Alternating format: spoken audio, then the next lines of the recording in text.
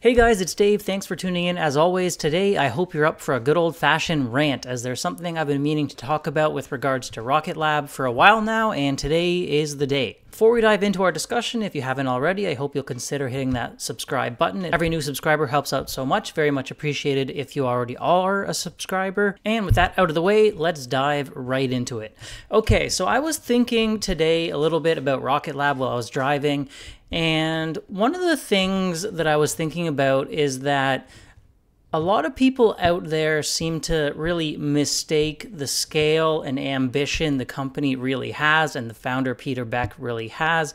Like they're not aiming for the little leagues here. They're very much aiming for the big leagues and I think that's being missed by a lot of people and perhaps one of the reasons why they haven't been able to command quite a as lofty of a valuation as say uh, SpaceX, Relativity, some of the rest. And when I talk about valuation, I'm talking multiples. Not saying they should be worth the exact same that SpaceX is worth today. That would be ridiculous, of course. But uh, even Relativity worth like twice what Rocket Lab is. Uh, ULA worth like twice what Rocket Lab is. SpaceX worth 100x what Rocket Lab is right now, I think. So, um, there's a lot of hype around some of these companies that seems to be lacking around Rocket Lab. Uh, I think there's this perception out there. They're like, oh, Rocket Lab's a pretty solid company, but they're just launching Electron. It's this little small rocket. Like, who cares? No big deal. That's not very ambitious. And I would say fair enough on that one, I suppose, although they are basically the only person in that market right now. And the Electron is really an amazing vehicle, in my opinion. Moving on to Neutron, similar story there people think, well, whatever, you know, it's not that big of a vehicle. It's pretty modest. It's not going to be earth shattering or groundbreaking. Uh, it's smaller than a Falcon 9, so who really cares? You know, it'll launch, it'll be okay, but whatever, right? I think that's what a lot of people out there really believe. And I think they're really missing the point of Rocket Lab and what they're shooting for because it's not just like, okay, being another space company, being whatever they are fully planning to be one of the biggest space companies in the world in the future.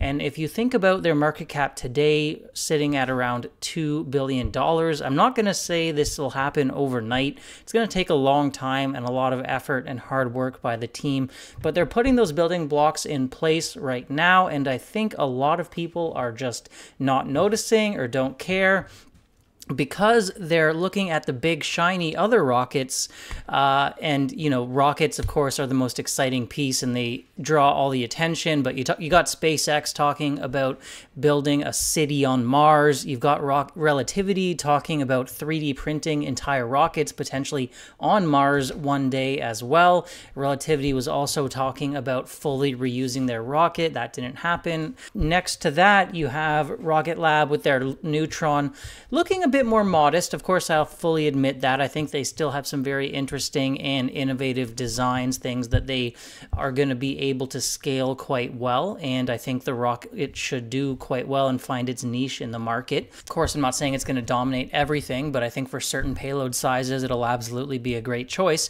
But very much beyond that, the vision of Rocket Lab coming an end to end space company. Uh, flying under the radar a little bit. One thing you have to understand about space is even though launch is exciting, we're talking about perhaps a 10 billion total addressable market, we're talking 10x that for building out satellites. So when you look at a ULA, when you look at a relativity, maybe even a Firefly or some of these others, although Firefly is starting to play a little bit on the satellite and spacecraft side of things, uh, the total addressable market is not really that big. And now I know you can counter and say, well, Dave, yeah, but launch is set to grow massively over the next few decades. And yes, that may be true.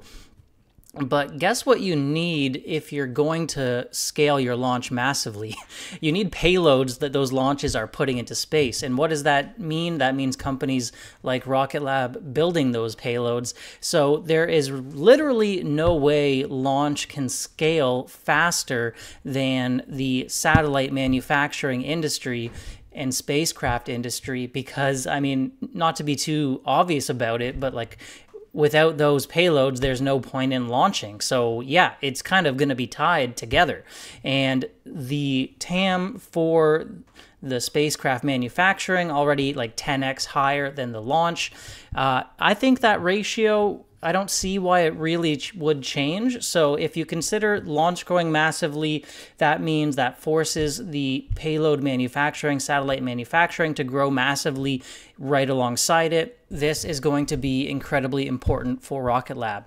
And when I think about the full end to end vision of them manufacturing everything, building everything themselves in house, bringing all those components together, all those pieces together that they've been doing very methodically under the table, we're talking the solar panels with SolAero, the star trackers, the reaction wheels, the separation systems, the mission management software, uh, basically everything the carbon composites, the satellite buses in house. They're going to bring on payload next, which seems to be like the final piece they really need.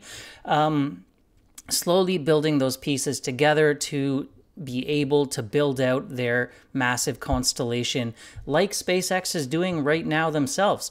So let's play a quick clip of Peter Beck in my interview with him uh, the other week, and I think uh, it was very interesting, very telling, and maybe people aren't really reading enough into it. Now let's take a look. That we took on, you know, the, the capstones and, and Vardas and, and whatnot, mm-hmm. and then we kind of stepped up as being a, a major sub and a major program for the MDA Globalstar.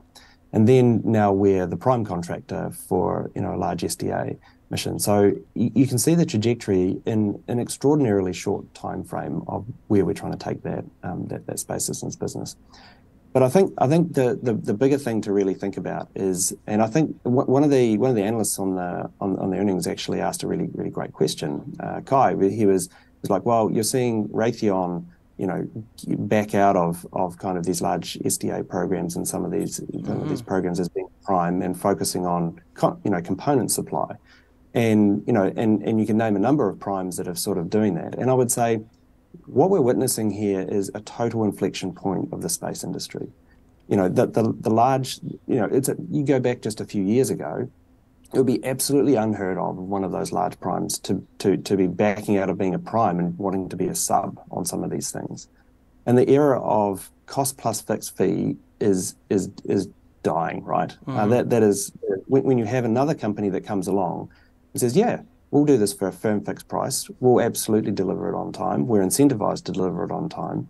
Um, and you know we can we can guarantee that schedule because we have all these components internally. We're not relying on being an integrator of everybody else's stuff. We have them internally. So we, you know, we can actually meet this delivery, especially in an environment where delivery is more important than anything else right now.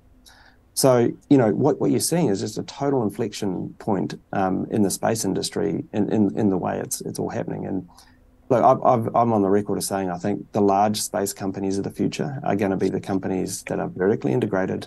They have their own rocket, they have their keys to space, and literally customers come to them and just ask for, I want this service or I want this capability on orbit. And we're, we're really starting to see that model happen. Like with the Victus Haze mission, the customer came to us, they bought a service essentially. We build the satellite, it's full of our components, we're launching it. We even operate it on orbit. Right. They've just bought a capability. And and then you see all the big primes kind of stepping out of these these cost plus programs and you see folks like us stepping in. So the large space companies of the future uh, are going to be the SpaceX, the Rocket Labs, um, in my opinion. And because when, when, you have the keys to space and you have all of that and that kind of vertically integrated capability, like who's going to sign a cost plus deal with ambiguous delivery timeframes and no idea of cost? It's just we're in a different world now. Okay, so a few things there. Uh, pretty clear to me he was talking about Rocket Lab basically out competing Raytheon, which, if you're not familiar with them, they're a $140 billion market cap company. Rocket Lab sitting at $2 billion market cap, and Raytheon basically throwing in the towel, saying we can't compete anymore as a prime. We're giving up. We're just going to manufacture some subcomponents and try to sell them to the likes of the Rocket Labs of the world and others. So, massively telling that Rocket Lab is able to push, and I'm not saying they're doing this alone. Obviously, there's a lot of other industry factors at play, but this is where the industry seems to be going the full end to end stack. Rocket Lab playing a big part of it. Uh, yeah, they they basically outcompeted Raytheon right now, at least it seems, in being a prime, which is absolutely insane. If you think about the market cap of Raytheon, sure, they're doing a lot of other things as well as the spacecraft, but still massive room to grow. And in those same sentences, Peter Beck talking about Rocket Lab being one of the biggest space companies of the future, saying, I think the big space companies of the future will be end to end. They'll do it all. They'll build satellites, they'll launch them, they'll operate those satellites from space and provide the services and data to customers down on Earth and in space putting Rocket Lab in that group of the big space companies of the future alongside SpaceX. Now, I'm not saying they'll ever catch SpaceX in market cap, nor do they even really need to try. Even if they somehow got into the same league, the same ballpark, we're talking massive growth. If you look at some of the other large space companies of today, maybe the Northrop Grummans of the world, the Lockheed Martins, uh, there is massive room for growth. And saying that he sees Rocket Lab as being one of the big space companies of the future, I think just the scale of that in comparing Rocket Lab's current size to what the current size is of the current big space companies should be extremely bullish, and there's just so much room to grow. So, yes, Neutron is not a massive vehicle. Yes, it's not as shiny and exciting as maybe a Starship, but that is one very small piece of the puzzle that nobody else other than SpaceX and Rocket Lab really seem to be focusing on right now. Uh, you look at Stoke, obviously trying to build a fully reusable vehicle of their own. Way too early for them to even think about getting into the space system side of things. They're not building satellites, they're really all in on just trying to get this rocket off the ground. You look at relativity, again, all in on trying to get this rocket off the ground as well. A lot of other space companies very focused on rockets, these newcomers, Firefly, the rest, ABL. Um, who else is really building the full stack right now except for Rocket Lab and SpaceX? It's nobody, but I think a lot of people are just more excited by the likes of a Stoke and a Relativity than Rocket Lab, which kind of gets forgotten. But you're going to see the power of the full end to end stack in the next decade, I think, and Rocket Lab has a big lead on that front compared to anyone who's not named SpaceX. So that's my little rant for today. I hope you found it entertaining and interesting. Let me know your thoughts down below if you agree that people aren't paying enough attention to the non-launch side of things like I do, and the fact that Rocket Lab is actually chasing a much larger total addressable market than just the launch side of things, like some of these other new companies. Thank you guys so much for watching. Please consider hitting subscribe and like if you haven't already because it really does help out a lot. I hope you have a great rest of the day and I'll see you in the next video. Bye for now.